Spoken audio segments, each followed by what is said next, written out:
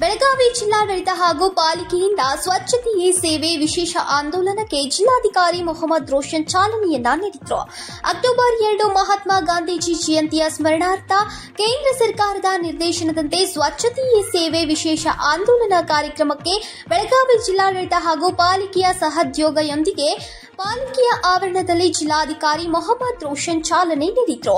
September ಹದಿನೇಳರಿಂದ October ಎರಡರವರೆಗೆ ಜಿಲ್ಲೆಯ ಗ್ರಾಮ ಪಂಚಾಯತ್ಗಳಲ್ಲಿ ಸ್ವಚ್ಛತೆಯೇ ಸೇವೆ ವಿಶೇಷ ಆಂದೋಲನ ಕಾರ್ಯಕ್ರಮವನ್ನು ಹಮ್ಮಿಕೊಳ್ಳಲಾಗಿದೆ.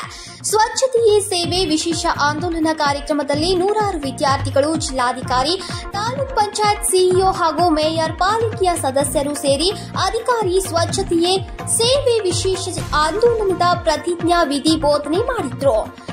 ಕಾರ್ಯಕ್ರಮದಲ್ಲಿ ಜಿಲ್ಲಾಧಿಕಾರಿ ಮೊಹಮ್ಮದ್ ರೋಷನ್ ಮೇಯರ್ ಸವಿತಾ ಗಾಂಬ್ಳೆ ಪಾಲಿಕೆಯ ಸದಸ್ಯ ರಾಜಶೇಖರ್ ಡೋನಿ ಜಿಲ್ಲಾ ಪಂಚಾಯತ್ ಸಿಇಒ ರಾಹುಲ್ ಶಿಂದೆ ಸೇರಿ ನೂರಾರು ವಿದ್ಯಾರ್ಥಿಗಳು ಭಾಗಿಯಾಗಿದ್ರು. ಸಲಿಗೆ ಮುಂದೆ ಮಾಡಬೇಕು ಸ್ವಚ್ಛತಾ ಪ್ರತಿಜ್ಞೆ.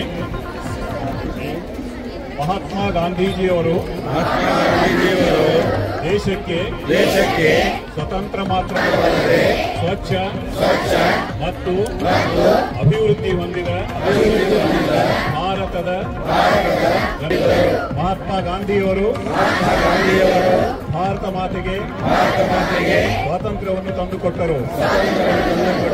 ದೇಶವನ್ನು ಅಚ್ಚುಕಟ್ಟಾಗಿ ಮತ್ತು ಸ್ವಚ್ಛವಾಗಿ ಈಗ ನಮ್ಮ ಆದ್ಯ ಕರ್ತವ್ಯವಾಗಿ ಸ್ವಚ್ಛತೆಗೆ ಬದ್ಧನಾಗಿರುತ್ತೇನೆ.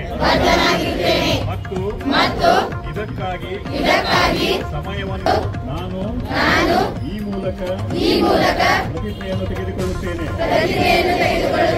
ಸ್ವಚ್ಛತೆಗಾಗಿ ಸ್ವಯಂ ಪ್ರೇರಣೆಯಿಂದ ವರ್ಷಕ್ಕೆ ನೂರು ಗಂಟೆಗಳನ್ನು ಅಂದರೆ ವಾರಕ್ಕೆ ಎರಡು ಗಂಟೆಗಳನ್ನು ಮೀಸಲಿಡುತ್ತೇನೆ.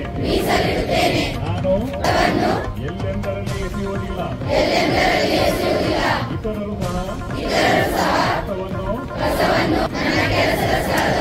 ಸ್ವಚ್ಛತೆಯ ಅನ್ವೇಷಣೆಯನ್ನು ಪ್ರಾರಂಭಿಸುತ್ತೇನೆ. ಅವಕಾಶ ನೀಡುವುದಿಲ್ಲ ಎಂದು ನಾನು ನಂಬುತ್ತೇನೆ.